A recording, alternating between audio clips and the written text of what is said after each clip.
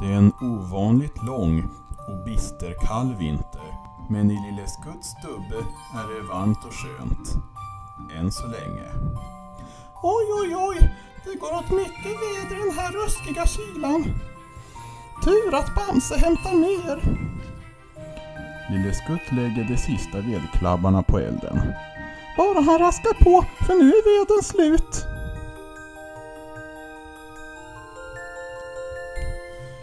Tiden går. Men Bamse kommer inte.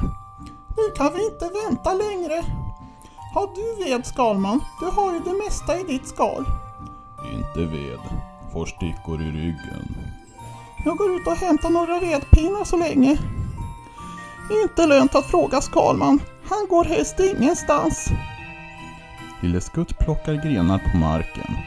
Oh, nu har jag så det räcker. Värst vad du storstirrar på mig gamla kråka. Fryser du också? Följ med hem till stubben så kan du värma dig vid brasan. Vad var det? Hjälp! En drake med horn! Usch fy! Bort härifrån! Lille Skutt rusar kvickt iväg. Ingen springer så fort som Lille Skutt och när en drake jagar honom springer han fortare än fortast. Men vad hjälper det när han springer åt fel håll? Åh nej! En ravin! Jag är fast! Inte ens jag kan hoppa så högt. Åh stackars mig! Jag vill inte se när jag blir drakmat! Bamse vet inte vad som händer Lille Skutt. Han hjälper fru Nyckelpiga hem. Tack snälla Bamse. Sedan går han till stubben. Hej, var är Lille Skutt? Veden tog slut. Han hämtar ny. Då kommer han nog snart. Jag tänder en brasa så länge. Snart sprakar brasan igen. Vad skönt det blev. Ja. Uh, har inte Lille Skutt varit borta länge nu? Jo. Tycker du jag ska leta efter honom? Ja.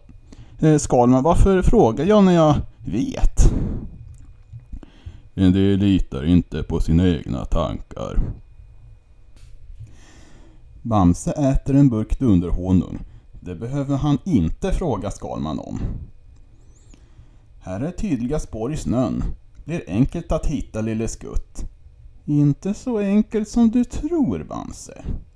Men vad har hänt? Lille Skutts mössa och kälken är omkull. Och fy vilka ruskiga spår! Stackars Lille Skutt. Ett monster jagar honom bara jag inte kommer för sent. Vad nu? En ravin? Inte ens Lille Skutt kan hoppa upp för de här branta klippväggarna.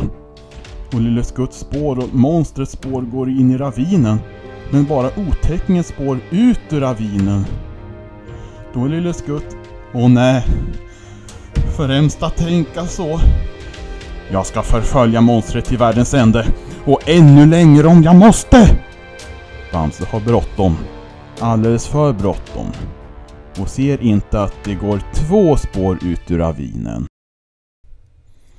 Längre fram i spåret. Vad hände? Känns så konstigt. Och varför kan jag inte springa som vanligt? Där är kråkan igen. Den kanske såg och vet. Jag frågar. Lille Skutt vet inte att han har förvandlats till drake. När han frågar hörs ett... Va? Brinner det i min mun? Och titta på min svans. Jag har blivit en eldsprutande drake. Ja, så här är du, monsterfuling! Vad har du gjort med Lille Skutt? Svara genast, för nu är jag både dunderladdad och dunderarg! Lille Skutt vill bara säga Det är jag. Men ur munnen kommer ett rasande och en eldsflamma. Och Bamse blir drake. Åh nej, vad har jag nu ställt till med? Bamse vet inte att han är drake, så han försöker säga För sista gången, vad har du gjort med Lille Skutt din otäcking? Det blir förstås bara ett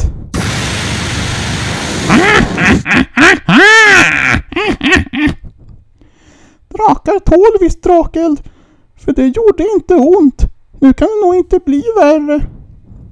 Ska tala om det för Bamse. Ja, visst ja, drakar kan inte prata. De vrålar. Nu när Bamse också har förvandlats till drake känner han igen Lille Skutt. Men vad hjälper det? De kan inte prata med varandra, bara tänka. Och det blir inga roliga tankar. Vad ska vi göra? Jag vill inte vara drake. Jag vill bara vara mig själv. Vi måste stanna här i skogen för alltid. Kanske inte, för nu letar Skalman efter sina vänner. Drakspår, illa. Två drakspår, värre. Och inga spår efter Lille Skutt, värst. Bara en sak att göra. Jag åker hem och läser. Det blir natt. Bamsedraken smälter lite snö så att det slipper frysa om fötterna. Sedan vet de inte vad de ska göra. Lille skuttdraken gråter. Hela natten läser Skalman. Och när det blir morgon vet han vad han ska göra.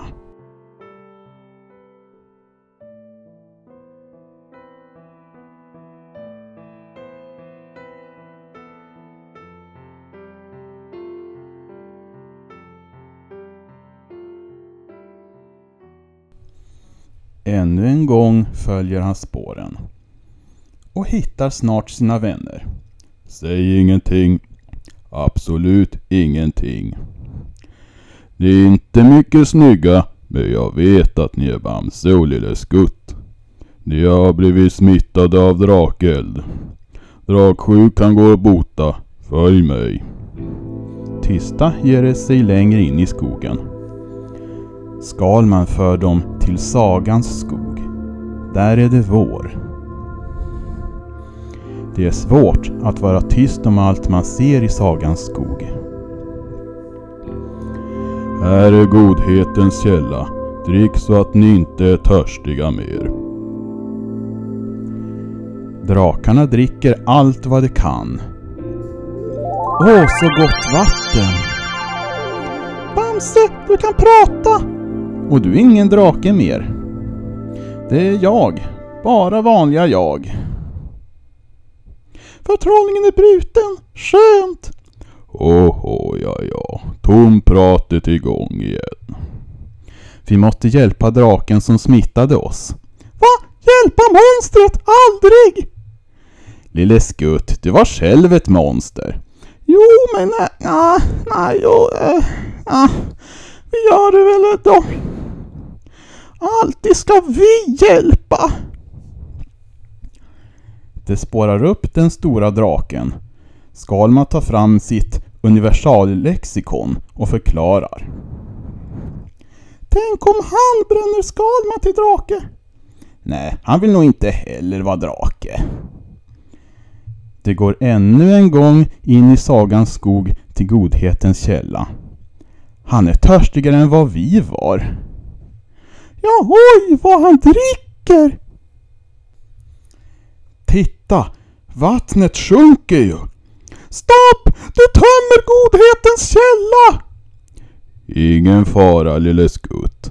Godhetens källa kan man inte dricka för mycket ur. Titta! Vattnet kommer tillbaka! Oh! Inte konstigt att du var törstig, så stor som du är. Man kan inte tömma godhetens källa. Den sinar bara om ingen dricker ur den.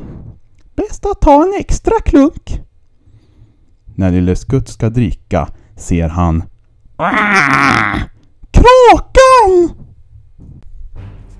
Hon var med när jag blev drake och hon skrattade när jag smittade Bamse med drakeld. Hon kanske vet något? Ja, jag ska berätta. Medan Skalman berättar flyger kråkan mot mörka bergen. Till den fruktansvärde trollkaren Malefix. Ah, Kraxan min kära spionkråka. Vad har du nu snokat reda på? Va? Usch, nedrans. Tvi. Min plan har misslyckats och allt är den där löjligt duktige Skalmans fel. Men vänta bara. Han ska få med mig att göra igen.